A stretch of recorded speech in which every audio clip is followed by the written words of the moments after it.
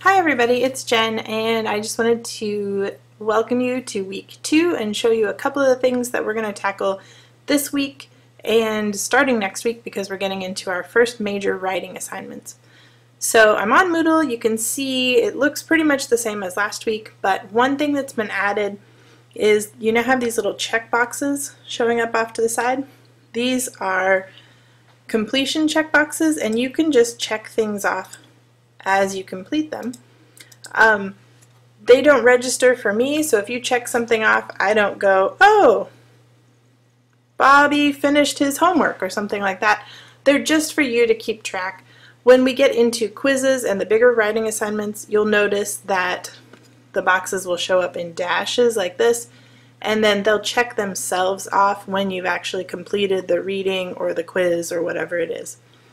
But just a way for you to visually go through and say, okay, I've done that, I need to do that, I've done this already, to help visually organize the class. Um, so for this week we have a couple of readings, a couple of quiz readings combined, and our first big writing assignment. We don't have a forum this week because the forums on Moodle are a little broken right now, and we're waiting on Moodle headquarters to fix that for us. So as soon as they've done whatever update they need to do, then we'll be back in business on the forums. Um, until then, we'll just have to find a different way to discuss. I'm working on that right now. So, for this week, you're going to start by just answering a quick question. This is a two question questionnaire where you just have to check some options off about scheduling for assignments and what would work best for you. And then we'll get right into the big readings for this week.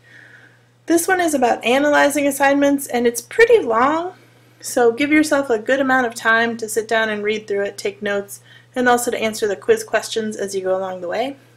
Then this is a separate reading assignment. It's a, an essay or a speech you can think of it as. It doesn't actually matter if you do this one second or third. Um, the order on that is fine. There's a link here to watch a YouTube video of the speech that you could read along with the video if that works better for you.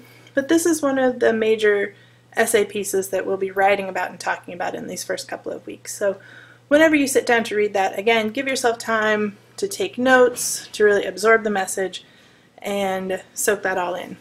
Then uh, you have another reading assignment with a mini quiz on the pre-writing process a reading response that's due, and I'd like to see that done by next weekend.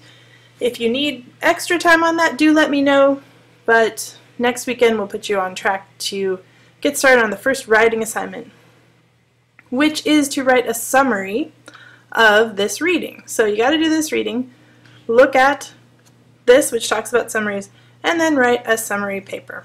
And that's going to carry us into next week when we'll have our first peer workshop which is due at the beginning of week three. That's the overview for week two. Um, I'll have office hours again on Friday, so if you have questions, you can catch me then or by email along the way. Thanks!